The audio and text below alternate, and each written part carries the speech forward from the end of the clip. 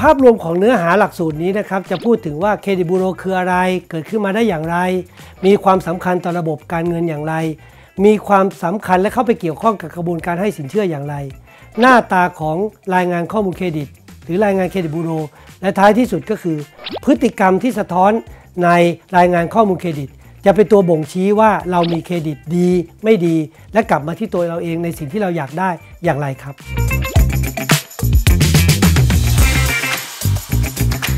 เครดิตสกอร์ลิงนะครับคือตัวชี้วัดความน่าจะเป็นในการชำระหนี้ แล้วก็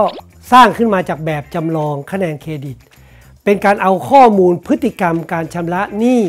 หรือพฤติกรรมอื่น ๆ ใดนะครับ เอามาใช้สร้างขึ้นมาโดยวิธีการทางสถิติ แล้วออกมาเป็นค่าคะแนน เป็นเกรด เป็นตัวเลข แล้วเอาตัวเลขนั้นไปแปลผลว่า มีเครดิตดี มีความเสี่ยงสูง ความเสี่ยงต่ำ แล้วก็นำเอาข้อมูลชุดนี้ไปใช้เพื่อกับประโยชน์ในการวิเคราะห์สินเชื่อ แยกแยะกลุ่มคนว่าเป็น A B C D สมควรจะได้ประโยชน์นะครับ อย่างไรในระบบการให้สินเชื่อของสถาบันการเงินครับ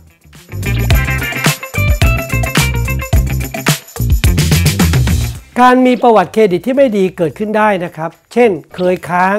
หรือกำลังค้างอยู่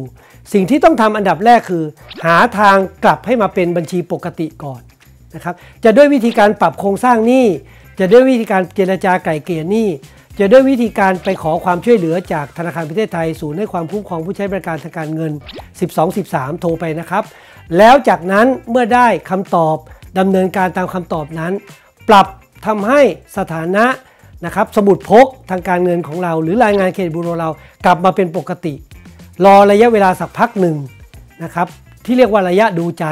จากนั้นค่อยคิดที่จะเพิ่มภาระหนี้สิน หรือก่อหนี้สินตามความจำเป็น การแก้ไขปัญหาหนี้สินเป็นเรื่องของการบริหารจัดการครับ